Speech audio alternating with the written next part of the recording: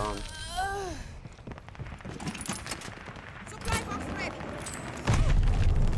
Wow. Why? Why are niggas in corners? This is so fucking annoying.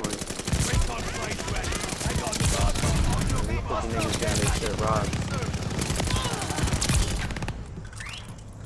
I'm glad there's a guy who doesn't have a scope on his car running around. Put scope in.